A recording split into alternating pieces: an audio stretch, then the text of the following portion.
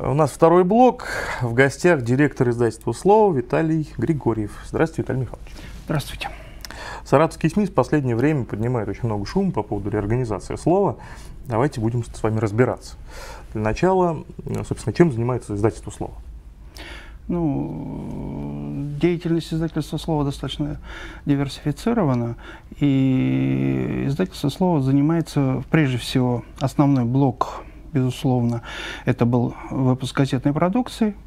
Кроме этого, это выпуск других видов полиграфических услуг, э, листовой офсет так называемый, это печать этикетки, флексография, ну и оказание услуг э, рекламного характера. Сейчас у издательства, насколько я знаю, некоторые проблемы связаны вот с кризисом. Да, в чем они заключаются? Я бы не согласился, что это э, проблемы, которые есть у издательства, э, это проблемы, прежде всего, отраслевые. Угу. Полиграфия сама по себе э, отрасль, где э, нормой считается достаточно невысокая рентабельность 5% э, рентабельности полиграфического производства, это уже считается достаточно хорошо. Угу. Кроме этого, у полиграфии есть э, другая особенность. Полиграфический бизнес, он, это долгий бизнес. Это не быстрые деньги, это деньги, которые вкладываются э, как минимум на месяцы, а в лучшем случае на годы. То есть, если мы заключаем печать э, договор на печать газеты, то этот договор заключается не на разовый выпуск, а, к примеру, на год годовой договор, полугодовой договор. А, в связи с этим а, печать, э, плата за печать газеты осуществляется не за каждый номер, а в установленном порядке, допустим, раз в месяц, по итогам месяца. Соответственно, получается, что вдобавок к тому, что невысокая рентабельность, э, в газетном бизнесе отсроченные платежи идут. То есть и, получается, э, что мы сначала кредитуем своего э, клиента, а потом с него получаем эти деньги. И таким образом этот бизнес э, выстроен. Конечно, бывают случаи, когда печать идет по предоплате, когда печать идет на каких-то других условиях, но это связано прежде всего или с разовыми какими-то акциями или с ненадежными э, клиентами. Э, и в этих условиях очень важно тот ресурс, тот запас прочности, который есть у предприятия, оказывающего э, эти услуги. В результате кризиса сложилась такая ситуация, вот чтобы было понятно, к примеру, а, офсетные пластины а, в России не производятся, они производятся только за рубежом. Они бывают европейского производства, бывают китайского производства, бывают бразильского производства, российских нет. Соответственно, торгуются они на доллары или на евро. И стоимость одного квадратного метра – этой пластины офсетной составляет 8, ну, от 8 до 9 евро за квадратный метр. Угу. По ценам, которые были до кризиса, это порядка 350 рублей за квадратный метр. По ценам, которые стали на сегодняшний день, вот при том, что курс немножко стабилизировался, цена составляет порядка 580-600 рублей. То есть почти в два раза. Почти в два раза. Ну, не в два раза, на 70% ну, да, да. подорожания. В абсолютных цифрах для работы издательства это выражается, к примеру, если в доперестроечное время в месяц я должен был заплатить порядка 350-400 тысяч, Э, рублей за покупку офсетных пластин, то сейчас за покупку этих офсетных пластин я должен заплатить 580-650 э, тысяч в зависимости от поставщика, в зависимости от партии, э, в зависимости от расхода в месяц. Таким образом, вот абсолютная величина возросла где-то порядка на 250, на 300 тысяч в месяц. только по одной этой позиции. Кроме этой позиции существует такая существенная статья расходов, допустим, типографская краска, которая в России тоже практически не делается. Почему практически? Был один завод э, в городе Торжке. В настоящий момент он переживает экономические трудности и не в состоянии отгружать продукцию. Краска, которая э, производится, она или немецкого, или швейцарского, или норвежского происхождения, в лучшем случае э, корейского. Э, соответственно, там вот эта вот дельта изменения составила порядка 50%. Э, и если, условно говоря, в месяц на газетном производстве до кризиса издательство могло получить прибыль порядка там 100-150 тысяч в месяц угу. общей прибыли, то в сегодняшний момент при тех же объемах, при тех же условиях это э, вытекает, что предприятие получает убыток порядка 400-500 тысяч только на основных материалах, потому что мы еще не считали с вами бумагу, которая подорожала в начале года на 15%, сейчас опять объявлено подорожание э, газетной бумаги еще на 15%. В этом случае, э, поэтому мы и говорим о том, что отрасль, которая и до этого работала на низком уровне рентабельности, в настоящий момент э, стала приносить, при сегодняшних условиях стала приносить убыток. Ну, тогда спрошу вообще про э, печатный бизнес, про, про газеты давайте поговорим, потому что у нас не так давно закрылась газета «Репортер», э, Саратовская. Она у вас печаталась или нет? Нет. Не у вас. Федеральная новая газета, вот вчера объявили, что она, скорее всего, уйдет в интернет. Как, на ваш взгляд, вообще Э, газеты, они в итоге уйдут все в интернет или что-то останется? Вот будущее за интернетом, за газетами, за журналами? Я э, не оракул, гадать я не буду. Я не верю в то, в то что все газеты уйдут в интернет. Я все-таки уверен, что э, есть очень много людей, и очень долго будет еще много людей, которые предпочтут держать бумажную газету, а не читать ее электронную версию. Я смогу сказать по своим наблюдениям, за, скажем так, последние три года э, тиражи газет э, уменьшаются.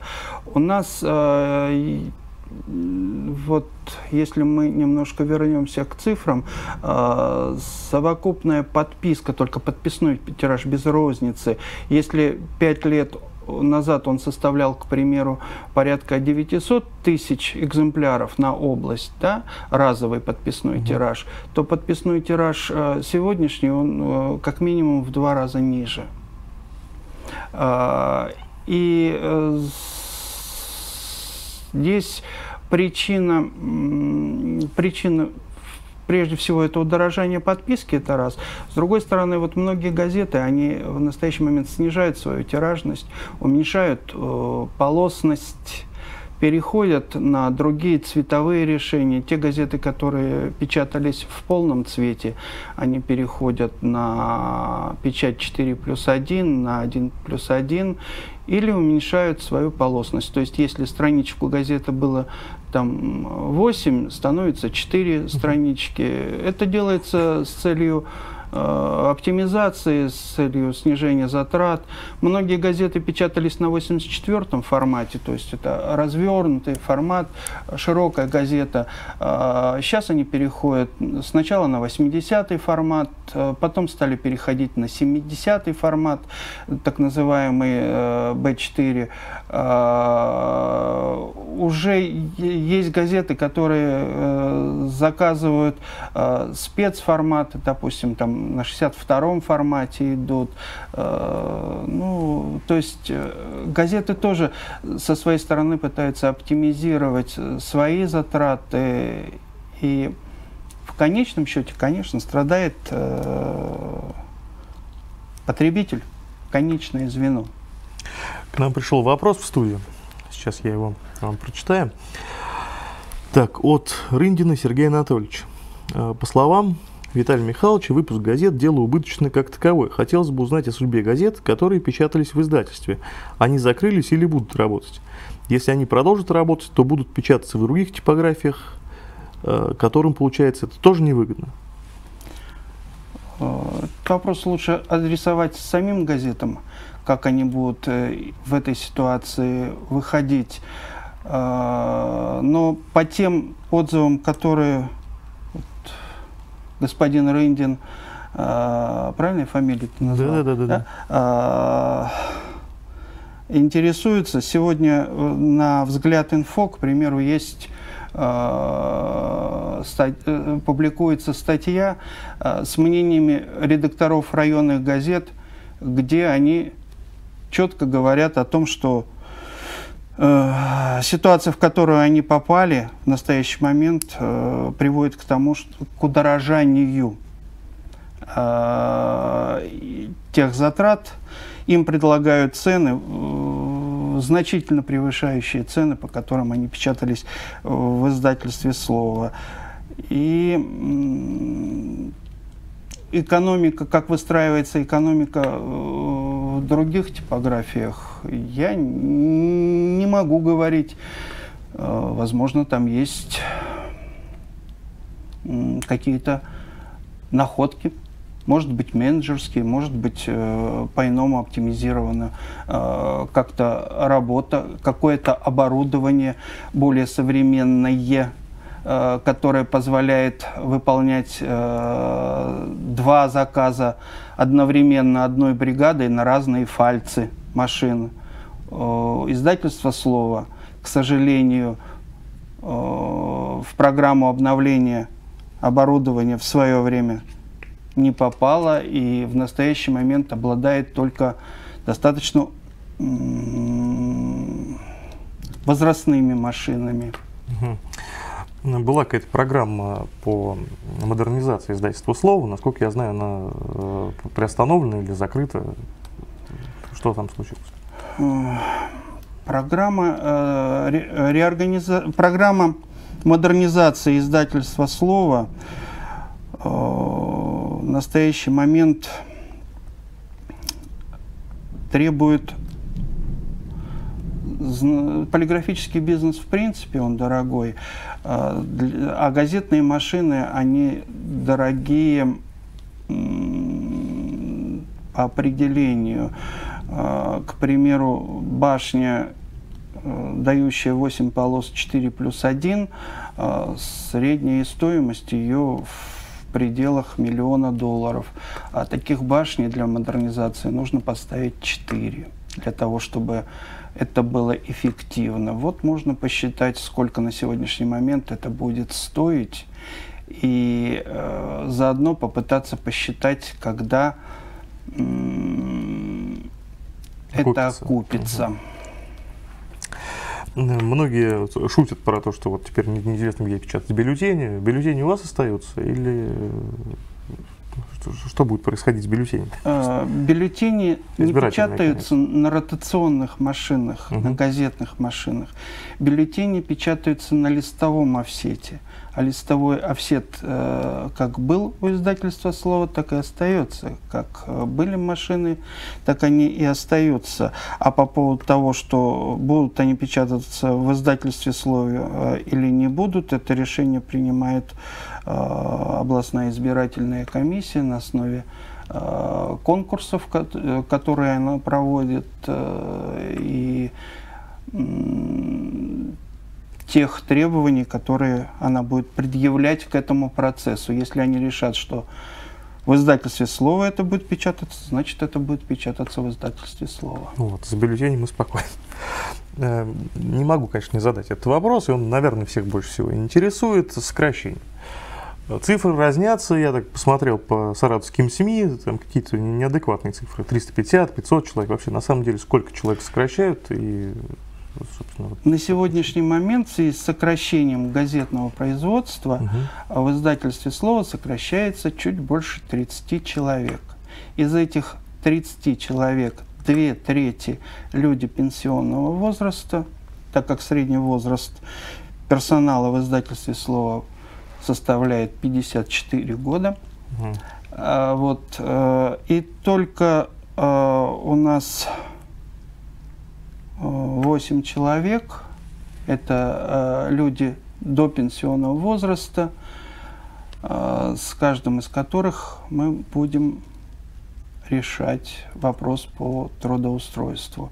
А, брошенных людей не будет, нарушений законодательства при их увольнении не будет. Все люди за два месяца были предупреждены о возможном сокращении. Каких-либо досрочных увольнений или увольнений без выплаты выходных пособий э, или еще каких-либо нарушений Трудового кодекса не будет. Люди будут уволены так, как положено, с выплатой всего, что им причитается. Спасибо, пожалуй. У да. меня есть Давайте. еще маленькая такая вот э, ремарка. А, в некоторых средствах массовой информации а, возникал вопрос о социальной ответственности бизнеса а, и в том числе о социальной ответственности владельца пакета акций издательства «Слово». И для того, чтобы как жест его доброй воли, э, есть э, инициатива. В издательстве присутствует э, машина достаточно небольшая, ПОК-60, которая позволяет печатать четырехполоски газеты двухцветные. Достаточно на бюджетной основе, так как для обслуживания данной машины требуется всего два человека. И по инициативе владельца э, консервация данной машины проводиться не будет. В случае необходимости печати повторяю, достаточно бюджетной, потому что многие газеты предпочитают полноцветные, большое количество полос. Но вот э, то, что касается четырех полос формата А3 в два цвета, мы готовы обсуждать с Министерством информации и печати Э, тарифы на печать данных газет и э, готовы помочь районным газетам тем, кому совсем не в моготу, кто не будет тянуть э, те тарифы, которые рынок установит на сегодняшний момент, мы готовы печатать по таким по бюджетным нормам, по социальным нормам, скажем так, назовем это так. Если э, данная инициатива будет востребована, э, мы готовы ее обсуждать. Хотел уже вас отпустить. Еще один вопрос пришел от Валентины Петровны. Э, существовала, ли инвестиционная программа развития газокомплекса, газетного, видимо, нового собственника и почему она приостановлена? Я уже ответил. Потому что на момент разработки инвестиционной программы Э, стоимость э, этого пакета составляла порядка 200 миллионов рублей. В связи с э, изменением курсов валют, в связи с кризисом, удорожание данной программы получилось практически двухкратное. Естественно, в нынешних условиях проводить данную реконструкцию – Э, и инвестировать э, столь значительные деньги, наверное, будет затруднительно прежде всего, потому что э, инвестируют с целью получения прибыли. Мы не сможем получить день, прибыль, чтобы вернуть эти деньги инвестору. Даже в течение 12 лет, которые являлись для нас расчетными. Спасибо. У нас в гостях был директор издательства «Слово» Виталий Михайлович Григорьев.